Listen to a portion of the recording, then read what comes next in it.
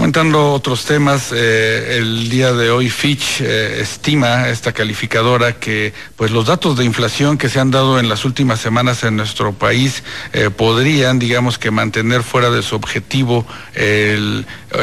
digamos que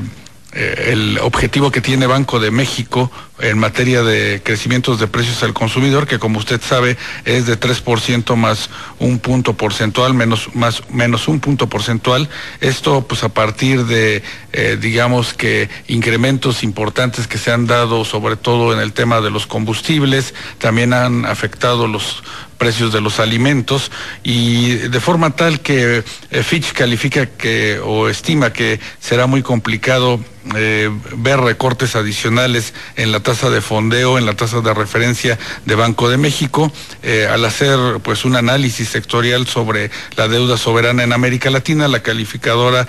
subrayó que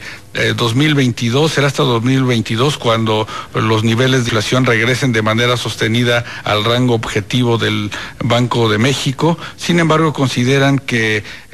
los aumentos de precios pues siguen siendo transitorios, siguen siendo temporales, lo que pues de alguna manera pues daría, digamos, señales de mayor tranquilidad para el Banco de México.